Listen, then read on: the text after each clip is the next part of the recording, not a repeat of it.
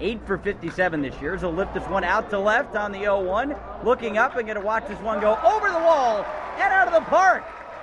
So OB shoves it right back at me and collects the third home run in the last two nights here at MCU, all out to left field. And as Obi touches home with his second dinger of the season, Brooklyn takes a 1 0 lead. This one lifted into left, coming on is King. He'll slide and make the catch on the turf.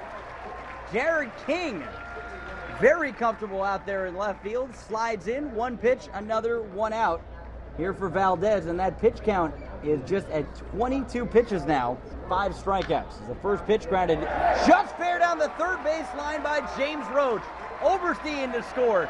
Sanchez followed behind. Roach slides into second base with a two-run double, back-to-back doubles here for Brooklyn, and Roach even waited on that one. He barely broke out of the box. It just went over the bag past Oberste at third. Cyclones with a 3-0 lead. King at third, Oberste off first, the 2-2 on the ground to the shortstop. Murillo will try to flip it, he missed it! In to score is King as Murillo assumed the out, dropped it there, so the E6, no RBI for Sanchez. In to score is King, the second goes Oberste, and the Cyclones lead it 4 to nothing. Breaking ball strike three on the 2 2 for Morris. And no one needed to be on as two strikeouts in the inning for Morris, both of them looking variety. And another 1 2 3 frame for Cyclones pitching. Morris from the first base stretch will deal. This one on the ground to third.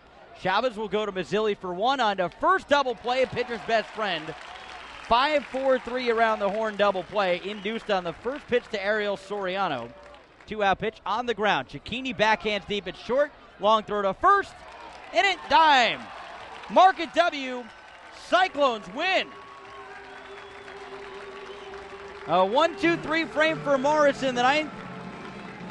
As the Cyclones stream out of the dugout. A 4 0 shutout, their fifth shutout of the season. They've now won five in a row. Have the Brooklyn Cyclones.